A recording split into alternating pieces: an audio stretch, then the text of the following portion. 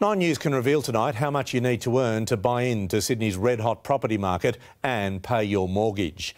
And if predictions about the surging prices come true, it will cost you even more by year's end. Buying in Sydney has never been more unattainable, but there is a magic number to make the dream a reality.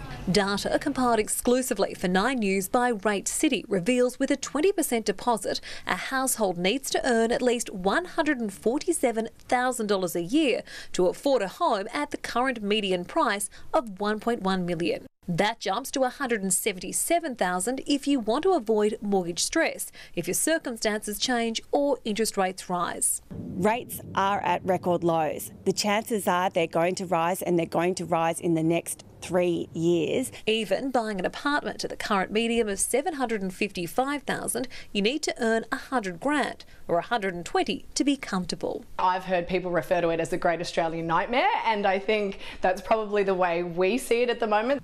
Broadcast journalist Michelle Stevenson says she's given up on buying in Sydney, preferring to rent her eastern suburbs flat and invest her savings elsewhere. It's just not possible or feasible for us to buy. We like to live in a certain area, we like our son to go to certain schools, and I think just from that perspective, we're always just going to be renters. Unfortunately, for first home buyers and those of us looking to trade up, it's not going to get any easier. One big bank is predicting Sydney house prices will rise by 19% this year, while wages will only climb 1.25%.